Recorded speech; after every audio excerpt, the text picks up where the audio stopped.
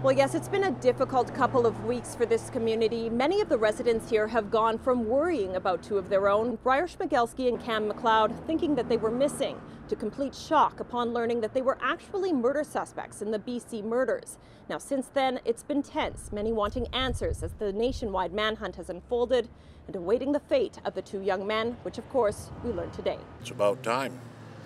Glad they got him. I hate to say it, but dead or alive. Well, heartbreaking for the parents, but we can't tell, can we, how the kids will turn out. Now, Port Alberni is actually quite a small city, just roughly 18,000 people, and being thrust into this international spotlight has been difficult.